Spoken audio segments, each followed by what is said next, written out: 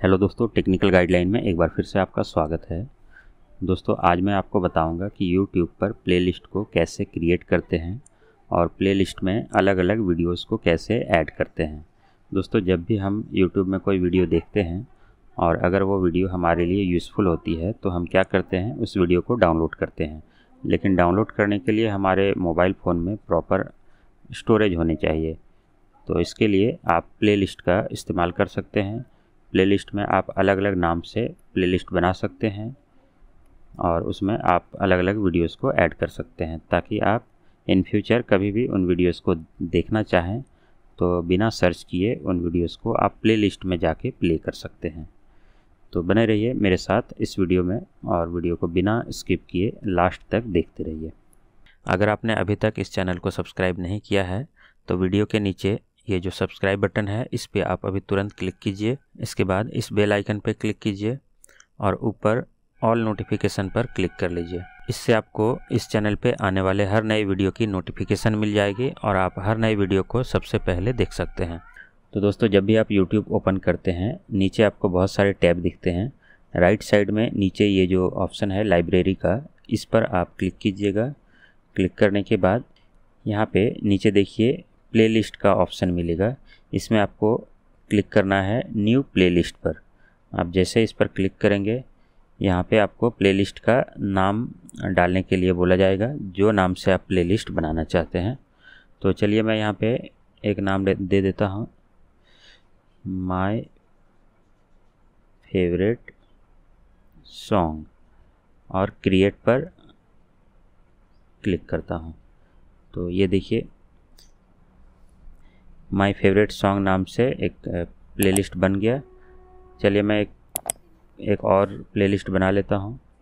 जैसे ही आप रिफ़्रेश करेंगे तो यहाँ पे देखिए माय फेवरेट सॉन्ग नाम का प्लेलिस्ट बन चुका है। अब फिर से और एक प्लेलिस्ट बना लेता हूँ। अब यहाँ पर देखिए आपको आपका जो रिसेंटली जो आपने वीडियो वॉच किया है वो वीडियो यहाँ पे आपको दिख जाएँगे। इसमें से आप आ, कोई भी वीडियो को ऐड कर सकते हैं प्ले प्लेलिस्ट बनाने के पहले।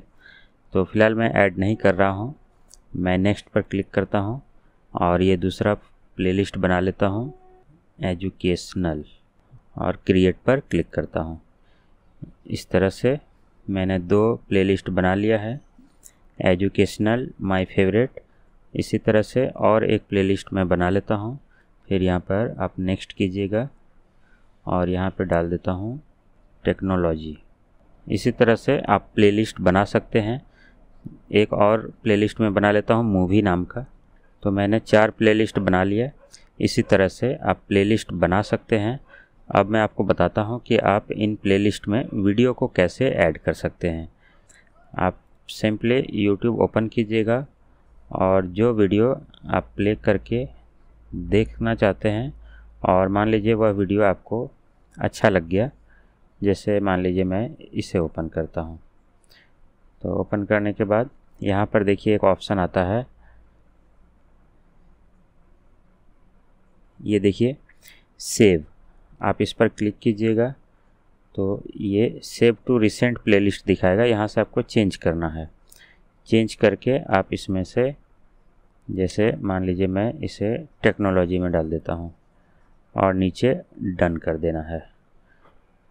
तो ये आपका उस फोल्डर में, उस उस प्लेलिस्ट में सेव हो जाएगा। इसी तरह से मान लीजिए, ये जो वीडियो है, इसे मैं प्ले करता हूँ और इसे प्लेलिस्ट में ऐड करना चाहता हूँ।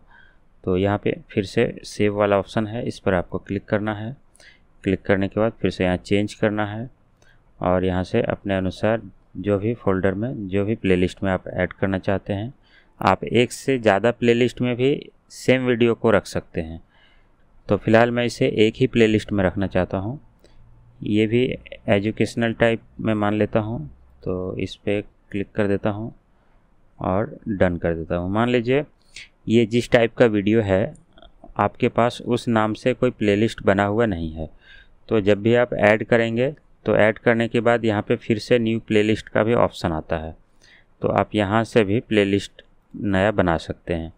और नीचे में यहाँ पे देखिए प्राइवेसी प्राइवेसी ऑप्शन है, इस पर आप क्लिक कीजिएगा तो यहाँ पे तीन ऑप्शन आएँगे पब्लिक अनलिस्टेड और प्राइवेट अगर प्राइवेट रखते हैं तो केवल आप ही उन वीडियोस को, उन प्लेलिस्ट को प्ले कर सकते हैं। और अगर आप पब्लिक रखते हैं तो कभी कभी क्या होता है, कोई लोग अगर सर्च करते हैं तो उनका जो सर्च रिज़ल्ट आता है यूट्यूब में उसमें आपका भी प्लेलिस्ट आ सकता है तो वो भी देख सकते हैं। और अगर अनलिस्टेड करते हैं तो आप प्लेलिस्ट का आपका जो लिंक होगा, वो लिंक आप जिस पर्सन को सेंड करेंगे, वही केवल आपका प्लेलिस्ट को प्ले कर पाएँगे। तो फ़िलहाल मैं प्राइवेट ही रहने देता हूँ। और यहाँ पे मैं एक और नाम दे देता हूँ न्यूज़ इसके बाद नीचे क्रिएट पर क्लिक करता हूँ। तो मेरे पास और एक प्लेलिस्ट बन गया। अब एक ही प्लेलिस्ट में मान लीजिए आपके पास बहुत सारे वीडियो हैं। आप उन वीडियोस को जब प्ले करेंगे तो एक के बाद एक उस प्लेलिस्ट में जो वीडियो है, केवल वही वीडियो प्ले होंगे। तो चलिए मैं आपको प्ले करके भी दिखा देता हूँ। एक सेम प्लेलिस्ट में और भी वीडियोस डाल लेता हूँ। यहाँ से लाइब्रेरी में जाता हूँ और से एजुकेशनल इसमें कुछ और वीडियो ऐड कर लेता हूँ। चलिए मैं यहाँ से इसे, यहाँ पे देखिए, वीडियो को बिना प्ले करके भी आप ऐड कर सकते हैं।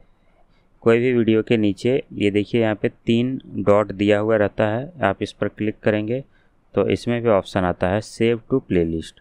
तो चलिए मैं यहाँ से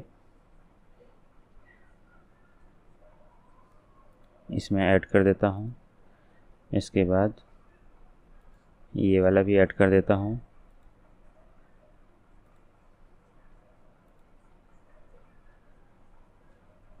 Done. Save to playlist.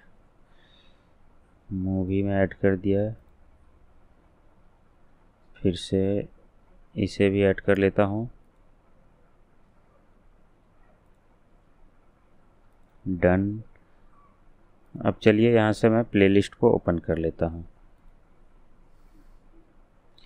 देखिए यहाँ पे कौन से प्लेलिस्ट में कितना वीडियो है, आप देख सकते हैं।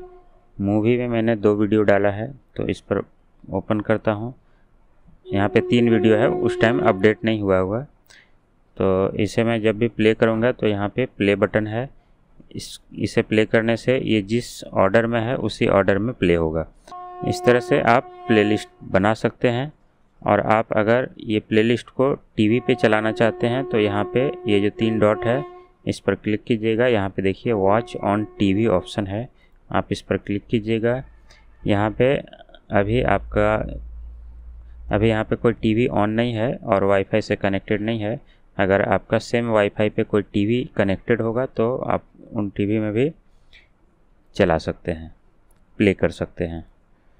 तो इस तरह से आप प्लेलिस्ट का इस्तेमाल कर सकते हैं। इससे क्या होगा, आपको कोई भी वीडियो डाउनलोड करने की ज़रूरत नहीं पड़ेगी। आप केवल प्लेलिस्ट में जाके उन वीडियोस को प्ले कर सकते हैं, क्योंकि कभी कभी क्या होता है, कुछ दिन बाद हम किसी वीडियो को सर्च करते हैं तो वो नहीं मिलता है। लेकिन प्लेलिस्ट में अगर ऐड रहेगा तो आप कभी भी उस वीडियो को प्ले कर सकते हैं, अगर वह वीडियो यूट्यूब से डिलीट नहीं किया गया हो तो। तो आशा करता हूँ वीडियो आपको पसंद आया होगा। आप इसे लाइक और शेयर ज़रूर कीजिएगा। और वीडियो के बारे में अगर आपका कोई सुझाव हो तो नीचे कमेंट करना ना भूलें। और अगर आपने अभी तक मेरे इस चैनल को सब्सक्राइब नहीं किया है तो वीडियो के नीचे सब्सक्राइब बटन पर क्लिक कर लीजिए और ऊपर ऑल पर क्लिक करके ऑल नोटिफिकेशन को ऑन कर लीजिए। इससे आपको आने वाले हर नए वीडियोस की नोटिफिकेशन मिलती रहेगी। तो मिलते हैं इसी तरह के एक और नए वीडियो के साथ। तब तक के लिए बाय एंड टेक केयर